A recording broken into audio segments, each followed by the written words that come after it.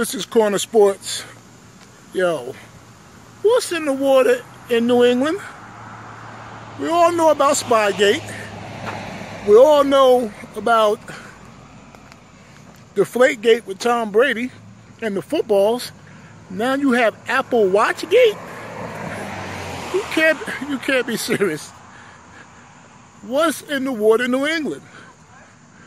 You talk about cheating, and the thing about Boston, they cheated and still lost three games out of four with the Yankees. Oh my God, they're using Apple Watches to cheat. Then after they get caught, they're like a kid. They say, well, the Yankees are using YES broadcasting cameras to spy on us. Man, this is this is too funny. That's something in the water in Massachusetts. This is Corner Sports.